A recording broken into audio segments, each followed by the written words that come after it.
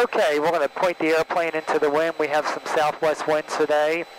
And we're going to do, November 3 for Hotel Delta, we have Gaithersburg in we're going to do the Before hotel. power off stall. Land frequency change approved.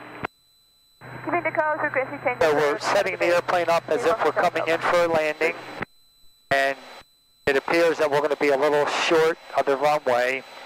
And we're trying to stretch our glide to the airport without adding power just by using pitch alone. Since this is a landing maneuver we're going to be simulating our own final, the gear comes down. Fingertips on the yoke. We're going to bring the throttle back a little bit as if we're coming into land. We'll get some flaps in. And all we need to do is establish a descent. There's nothing that says you need to get to 500 feet a minute or anything like that. Just establish a descent. And then from there, just slowly close the throttle. And just pretend we're just trying to make it to that runway out there. And you don't need to keep pulling up until you stall. If you do this maneuver, boy, that trim is awfully stiff. If you do this maneuver, you are basically wings level when you stall. So we just hold it here.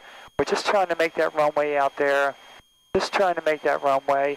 Don't need to have a nose high attitude. Charlie Mike is 2,000 feet off of Lee Airport.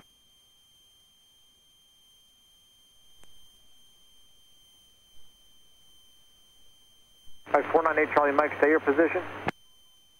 Off of Lee Airport at 2,000 feet. And we're just trying to make that runway out there, just holding it up. 498 Charlie Mike, just verify your SS4A aircraft. Now we're starting to get stall buffet. 354. So we recover slowly, nice and slow. 4908 Charlie Mike, transponders observed, proceed on course outside the Bravo, Baltimore, altimeter is 3065. 3065, Power, flaps up, climb. Gear up. Remainder of the flaps. Oh, hotel outside of the gate of Blue, climb into 3000. And we're recovered.